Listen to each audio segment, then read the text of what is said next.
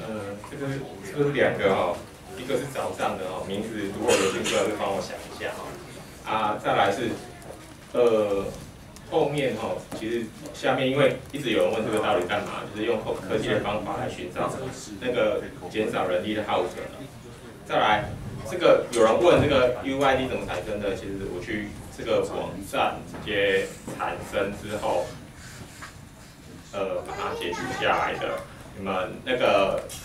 简报是在早上的那个链接有，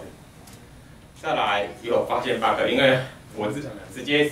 直接写入那个完整的手机是用呃特殊的方法写进去，如果标准的啊，如果你要写进去，其实会有问题。说正常来讲，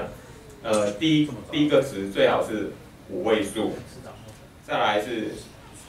第二个值其实一样是五位数。呃，大概是这样。那再再来第二第一个，第一个其实还是跟我兴趣玩的东西有关系哈，就是科技化的无人机管理。其实呃，像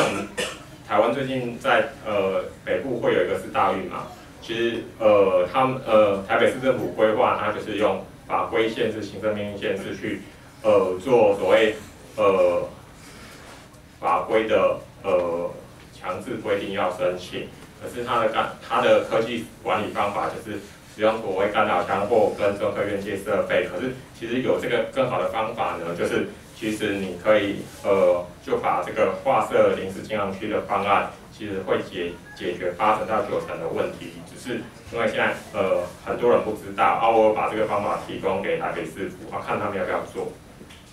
他的做法呢其实很简单，就是。刚刚那个呃，我们就画设一个临时禁航区，就是你可以 email 给他资讯，他就会帮你画设成这样子。例子呢，就是最近的例子是 香港现在要二十年回归的经验。你现在去香港跟广州是完全不能飞的，因原因是因为习大大过去了。那再来呢，后后面的那个。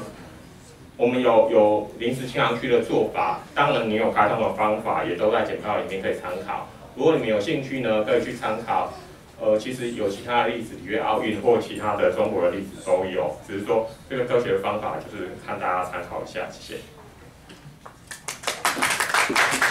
OK，最后一位呃，Jimmy。